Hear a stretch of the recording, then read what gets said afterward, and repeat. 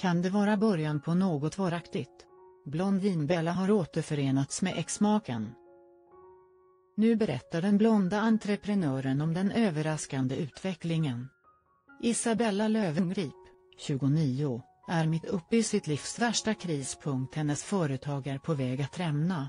Konkurshotet var så akut att man tvingades dra i nödbromsen och ställa in lanseringarna på flera olika marknader för hennes skönhetsprodukter. USA-äventyret blev det ingenting av och en frustrerad blondin Bella har även drabbats privatekonomiskt. Hon har tvingats sälja lyxvillan på Lidingö och sparka sin personliga kock och stylist. Blogerskan var själv berättar om hur hon tvingas äta starka mediciner och ta hjälp av både läkare och psykolog för att ta sig igenom dagen. Allt ser minst sagt mörkt ut. Det enda som verkar fungera för den blonda entreprenören är kärleksrelationen med Erik Sugardade Erik Selin, 52.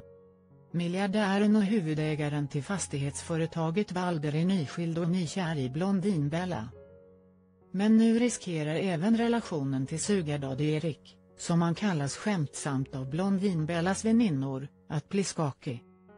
I alla fall om den frånskilde miljardären är svartsjukt lagd.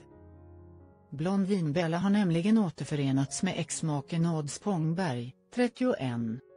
Paret firade julen ihop, sannolikt mest för att ge parets bägge barn en så mysig familjehögtid som möjligt.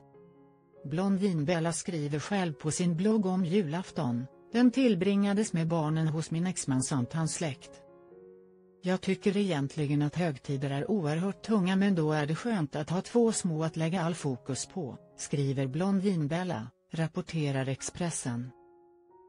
Julen verkar ha avlöpt traditionellt med julmat, galleanka och julklappar.